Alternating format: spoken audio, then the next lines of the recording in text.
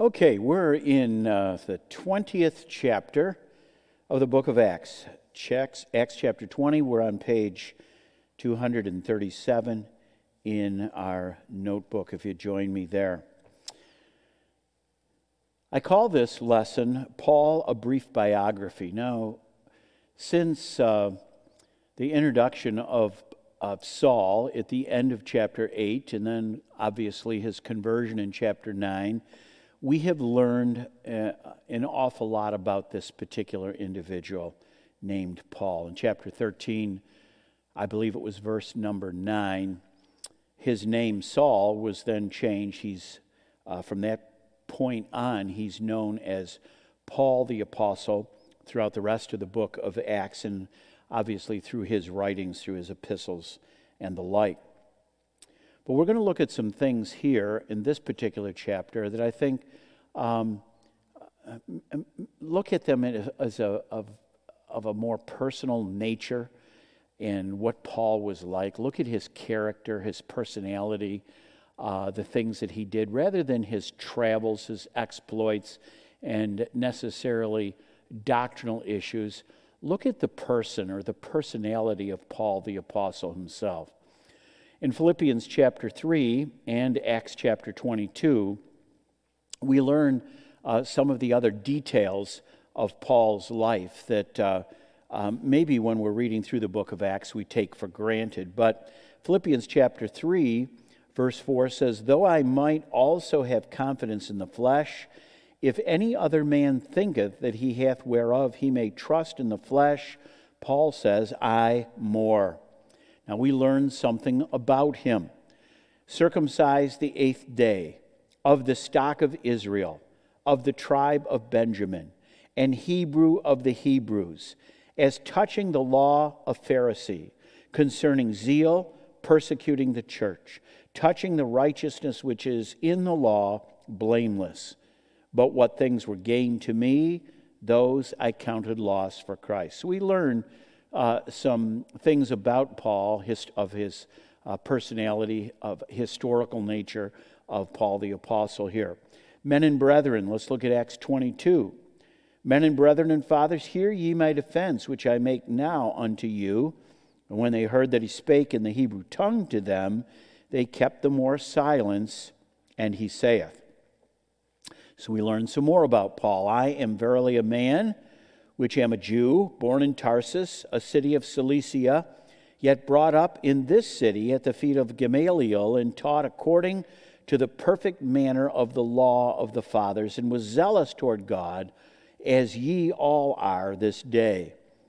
And I persecuted this way, the way that is, Jesus is the way, this way unto the death, binding and delivering into prisons both men and women as also the high priest doth bear me witness, and all the estate of the elders, from whom also I received letters unto the brethren, and went to Damascus to bring them which were there bound unto Jerusalem for to be punished.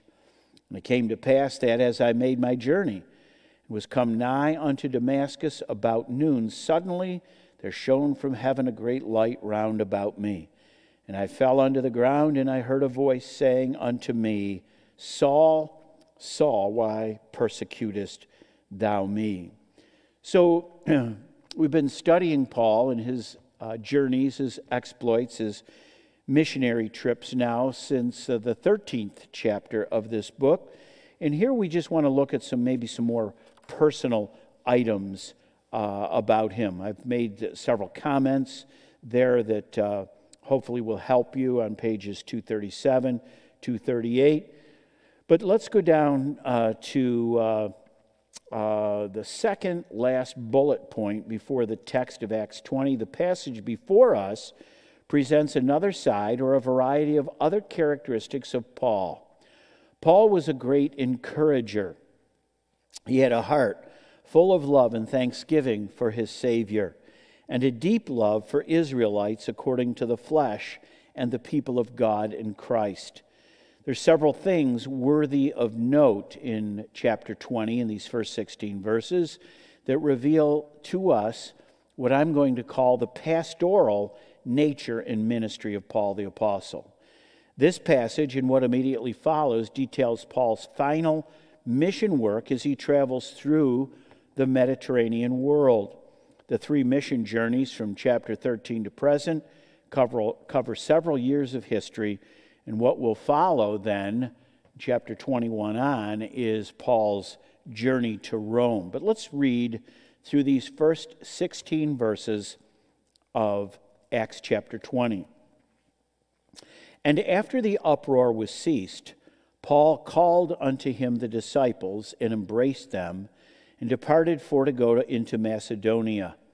And when he had gone over those parts and had given them much exhortation, he came into Greece and there abode three months. And when the Jews laid wait for him, as he was about to sail into Syria, he purposed to return through Macedonia.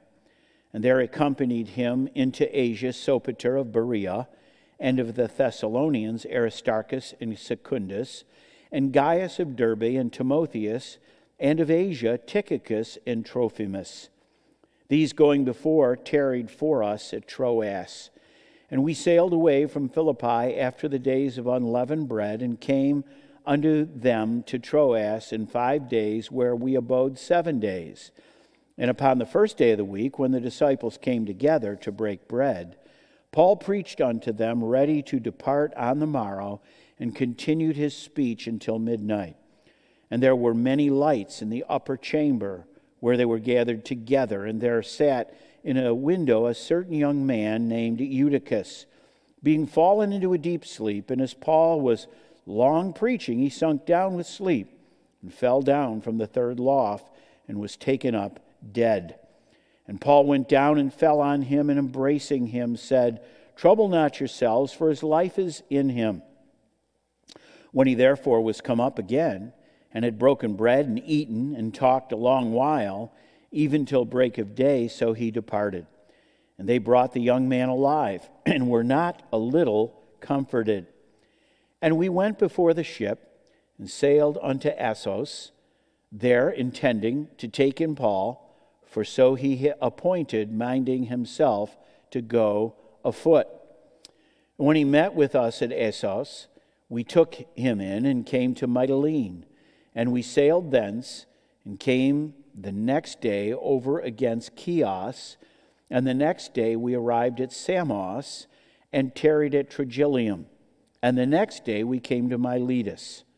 For Paul had determined to sail by Ephesus because he would not spend the time in Asia for he hasted, if it were possible for him, to be at Jerusalem the day of Pentecost. So, um, again, uh, we're moving much more quickly through the book, and we will the, the rest of our studies because we're dealing with more history the places, the people, the things he did. We're not um, tied up in a doctrinal controversy uh, in things like that, that we were and establishing uh, context and content and uh, all of those things that we did in the earlier chapters of the book of Acts. Now we're, we're rolling right along. What's going on in Paul's life? We're coming to nearing the end of his third um, missionary journey, and we've chosen to pick out from verse number one the statement, and I quote, Paul called unto him the disciples and embraced them. This is more than a simple farewell. Remember, we're looking at the person of Paul. What kind of a man was he? His personality and his character in his relationship with these people. This is more than a simple farewell. Paul demonstrates that his passion for the disciples, in this case, a church, was certainly genuine. The term embrace means more than just a goodbye hug. The idea is spending time in a warm exchange. Genuine affection is contained in the term. The same word is used in Luke chapter 1, where Mary made haste to visit Elizabeth to report the news that she, Mary, was carrying the Messiah. Mary saluted Elizabeth, and this is the same Greek word saluted Elizabeth. Mary greeted and embraced Elizabeth warmly and affectionately, and the babe leaped in her womb. These people were family, and Paul's embrace was that of embracing one's own family. Sometimes um, Paul is presented as a hard, harsh um, individual, an individual who uh, hated women and was intolerant towards those who disagreed with him. Nothing could be further from the truth. When you really study uh, the person of Paul and you study passages, sections uh, uh, out of these chapters like this, you see that he was, a, yeah, he was a man on a mission. There's no question about that. No question that he was a very disciplined individual. The fact that he was a Pharisee, the fact that he was very orthodox and conservative in his theological, probably in his political beliefs, no doubt. Um, those things are true. But that doesn't mean that he couldn't be a man that loved others and had affection toward other individual. Uh, I see that as a balanced individual. I see Christ as a uh, balanced individual and that he was full of grace and truth, that he was a savior of strength and beauty, not just one or the other. So uh, I suppose as human beings, we do have a tendency to gravitate to one side or the other, and I think that's what we enjoy uh, in some personalities when we when we meet an individual who both is has self-discipline, is principled, and at the same time can be, be very graceful, very kind, and gracious to other individuals. I believe that's the example that Christ has uh, set for us and I believe that passages like this, we see that Paul the Apostle was an individual like that. So we've written there, contrary to some reports, Paul was a man who loved the disciples, he loved the church, and he loved the churches of Christ. The next uh, emboldened print, uh, 20 verse 2, we quote, when he had given them much exhortation. Paul faced more than his share of opposition and discouraging times. We know that from reading 2 Corinthians chapter 11, which we've included in the text. And if you'll just kind of kind of browse through that text, you can see labors, stripes, prisons, deaths, 40 stripes, beaten with rods, stoned, shipwreck, journeyings, perils of waters, perils of robbers, perils by mine own countrymen, weariness, painfulness, watchings, hunger, thirst, fastings, cold, nakedness. And the last thing he says in verse 28, maybe he saves it up as for the final, you know, this is the thing that tops them all the care of all the churches. He cared. He had, he, uh, the word care comes from, if, I, if I'm not mistaken, from a Latin word, carus, C A R U S. The Latin word carus means dear, it means someone who is dear to you. Our word careful comes from that. When you're careful about something, you're careful because whatever, the person or the thing, is dear to you. So you're very charis with it. You're careful, you're loving, it's dear to you.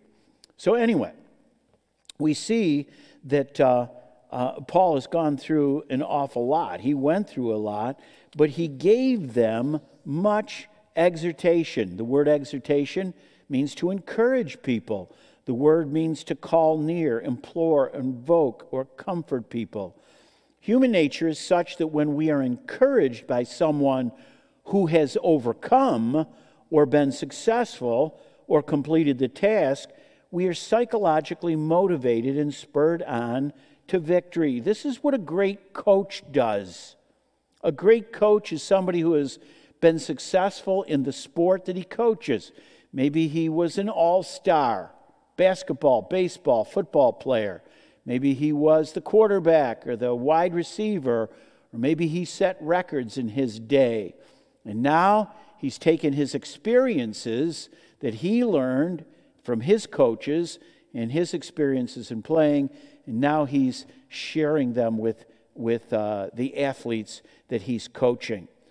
Uh, so, this is the kind of encouragement that we get from somebody who is an accomplished individual, somebody who's been there and done that. Much exhortation.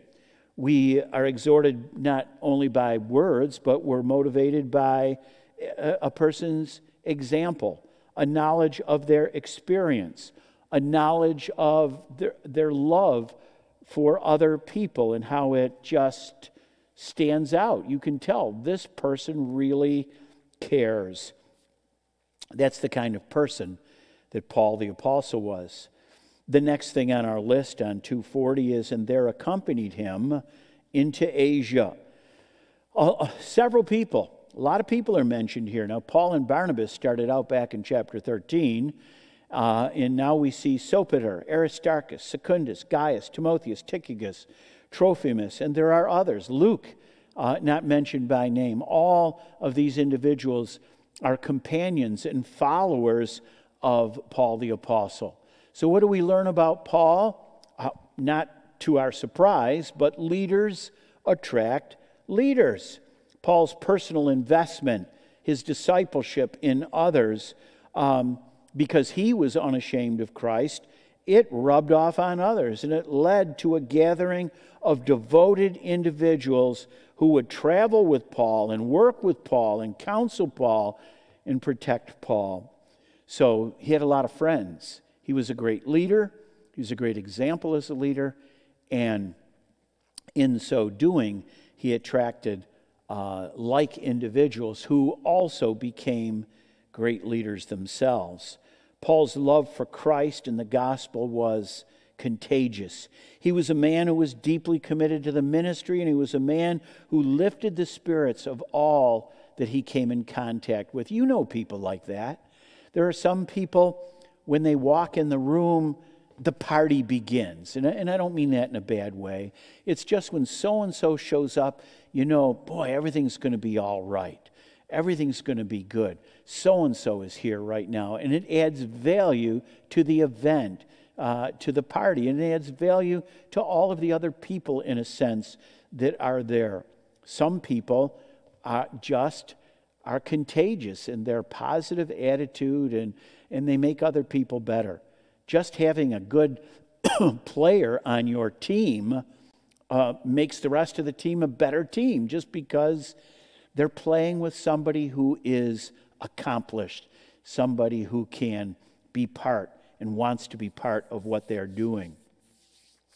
Knowing and working with Paul made one a better individual. Always look for people who will challenge you. And let's say, and, and this is a tough thing to measure, I know, but let's say you're here on a spiritual scale, or you see yourself honestly here, and you look to some people in your church or in the ministry that uh, you look up to because they are accomplished and they have had victories and they are experienced and they are knowledgeable and they are the kind of person that Paul was loving other people and exhorting other people. And you're here look for people like that. Follow people like that. Try to emulate people like that rather than sinking to a level lower than yourself, it's easy to find bad examples in life. And, and hopefully, it's not easy for you to follow them. It is human nature to be lazy, to be neglectful, to be self centered, to not care about anybody else. I know I'm human. That's my nature.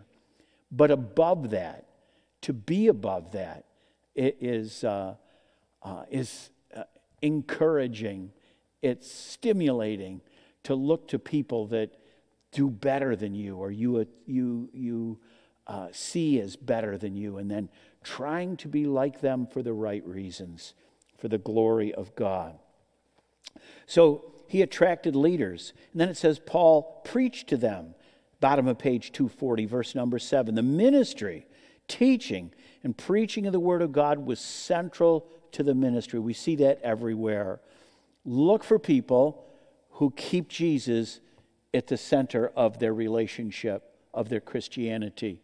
Your pastor, your youth director, your missionaries, the superintendent of the Sunday schools, just good disciplers in your church, leaders in your church, men and women alike who are who uh, show their love for Christ, follow those people and try to emulate them. The ministry, teaching, and preaching of the word was central to his ministry. Look for people who put Jesus at the center of their lives. Verse 7 implies that Paul was never short on words. He preached until midnight. Uh, anyway, I've been in a couple meetings like that. That wasn't the intention when it started, but it ended up that way. I never fell asleep, though, and never was taken up dead. Um, maybe some people thought I was, but I, uh, my recollection is that I survived those. But anyway, uh, Paul wasn't short on words. When he had a, an opportunity to do something, he took that opportunity uh, to the fullest extent. Paul wasn't impressed by his own experiences. He wasn't impressed by his own opinions. He didn't walk around telling people, at least not recorded in the book of Acts, look what I've done, look where I've been, look who I know, etc., etc. He didn't do that. He didn't brag on himself. He bragged on Jesus, he preached the word, and he understood that nothing could be more helpful or more encouraging to another individual than just preaching Christ to them. In verse 7, we also see continued to midnight. He has covered over 6,000 miles of travel. Not by car, train, or plane either, my friend. We understand that the travel accommodations were relatively unimaginable compared to what you and I would enjoy in our travels today. Considering all of the setbacks and obstacles that Paul incurred in 2 Corinthians chapter 11, they're noted there. Paul was a man on a mission. He would not quit, he would not give up, he was undaunted. He never complained about the obstacles, his opponents, those who uh, would um, uh, create problems for him. He was positive in his teaching and his preaching, and he would move from one place to the next as a man, truly a man on a mission. A great example of that. He worked as a tent maker throughout his ministry to avoid being a financial liability to those to whom he ministered. By the way, he could have been. There was nothing wrong. The laborer is worthy of his hire. There's no question about that. Um, but at the same time, he did not want anyone to use um, money as an excuse not to listen to him.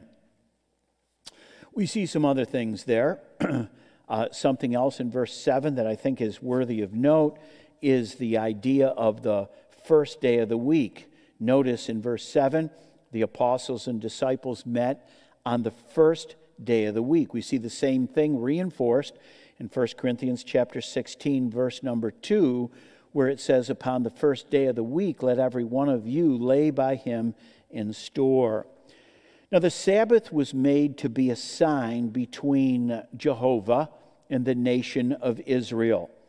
It is believed, though, that the first day of the week, Sunday, became the primary gathering day for the church on the basis of the resurrection of Christ, because Christ rose on the first day of the week.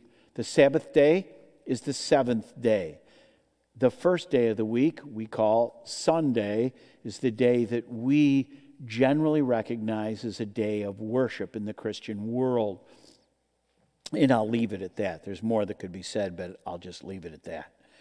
Then notice at the bottom of 241, Paul fell on him. This is embracing Eutychus as the young man. He had had enough of Paul's preaching, apparently, and uh, fell asleep, uh, lost his place or his position in the loft, and ended up uh, taking a nasty fall. Um, it's believed that he was a young man, 10, 14, 10 to 14 years of age. Been a long day. Uh, he fell asleep. Who hasn't been there? Who hasn't been there by midnight and it's been a long day and you're listening to somebody talk. I don't care how interesting they are. Maybe you're sitting up watching uh, a uh, award-winning movie at midnight and you find yourself at 1:15 with a test pattern in front of you or or who knows some weather program or whatnot and you've been asleep for the last uh, 45 minutes. Who hasn't had that happen uh, to them? And that's what happened obviously apparently to this young man Eutychus. Well, anyway, Paul, he, he's taken up dead. Everybody thinks that he is lost, or he has, he has lost his life, verse number nine. And Luke was a physician, remember? He's reporting on this. So Luke was probably uh, a believer, was impressed that he was uh, dead. Paul says, though, his life is in him. And one can only surmise that a miracle has taken place. This is the last miracle that Paul performed in the book of Acts. Now, this is only chapter 20. We've got eight more chapters that follow. Paul is the central figure of the rest of the book, but we don't see Paul on a miracle uh, producing binge. It's our belief that as the Word of God grew, and ultimately the texts the letters that were written to the churches, the gospels were made available to believers. that there were more believers. That the signs and wonders of the apostles that they were diminished, and that is the record of the book of Acts. We don't see the uh, speaking in tongues. We don't see the healing miracles. We don't see the, we don't see Paul walking on water or drinking poison or Mark chapter 16 or any of those things. We don't see that taking place in the rest of the book. The only thing that I would say would be I think it's in chapter 27 where Paul gets bit by a serpent. And that would take us back to Mark chapter 16. Uh, uh, uh, and that would be the only exception to that that I can think of off the top of my head right now. But this would be the last miracle, if indeed it is a miracle. Maybe he wasn't dead. I don't know. But Paul says his life is still in him, and if he was dead, this is the last miracle that Paul uh, performs in the book. The event, though, brought comfort, courage, and confidence to the church. There was indeed no doubt that this Paul had an anointing of God on his life. Something that was very bad turned out to be something very, very good for sure. Now let's turn the page here and look uh, in verse number 16. I'm going to skip the marks of good preaching. I'll make a comment before we're done on that, but let's look lastly, page 242. Paul hasted to be at Jerusalem. Paul spent a large amount of time at the city of Ephesus. However, at this time, he was compelled to be at Jerusalem. Paul knew that if he went to, to Ephesus, it would be difficult to leave, so he avoided the risk by uh, slipping on by. Why Jerusalem? Because Paul didn't want to be a stumbling block to Jews. So Paul wanted to show up at Pentecost at Jerusalem so that he wouldn't be criticized for abandoning the Old Testament law. He never said that the Old Testament law was evil or bad. In fact, the book of Romans, the book of Galatians, both of those books and others certainly attest to the fact that the law was good, but the law could not save. So rather than be a bad testimony and just reject outrightly the law and the all the practices of the law, Paul determined that he would show up at Jerusalem at one of the required feasts. But not only for that reason, he knew there'd be a lot of people there, Jews, and he would have a great opportunity to take the gospel of Jesus Christ and probably reach more people uh, at that particular time in that particular place in his ministry than any other place. So, this uh, he did because he saw great advantage, at least twofold to be a good testimony and not a stumbling block, and also to seize the opportunity to preach the gospel to a million people. A million people. It's said that, that in Jerusalem, uh, at these great feasts that there could be as many as a million people that would assemble at those times. So, anyway, we've got some other things that we say here uh, through the end of the notes, but let's go back to the marks of good preaching and I'll finish up. Marks of good preaching. I like alliterations. This is one that I came up with years ago and I still I can live by it. You might be able to add one or you may come up with your own list. But what makes good preaching? Um, personal. What do I mean by that? That the people that you are addressing feel as though that you are talking to them, specifically talking to them. And you can do that by the choice of your words and the direction of the attention that you give the people that are there. Sometimes you can actually talk to your crowd. If you know some of the people, call people out by name and say, Well, don't you, do you agree with me, Tom? Or what do you think about that? Or not that you necessarily have to call them out and ask for a response to them, but um, connecting with your crowd in a more personal way. What you have to say needs to be applicable, relevant pertinent to them. It's got to be something that they want to know about. They, and if they don't, your job is to make them want to know about it and tell them why this is so important and what can be gained by listening to what you have to say.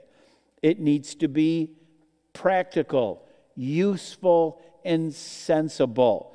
It needs to be something that you can help people come to the conclusion that this can be done by the grace of God, but with the help of God, and that it needs to be done. It needs to be positive, transformational, constructive, rather than destructive. it needs to be powerful. And what I mean by that is the word power is often means authority or authoritative. So when I say powerful, it needs to be authoritative in that what is said is based upon something that is found in the Word of God. It is authoritative, it is principled, it is true, undoubtedly. And if, it, if you're not sure that it's true, if it's an opinion, be honest with people and state it as such. Don't tell people something is true if you're just guessing at it. Don't do that.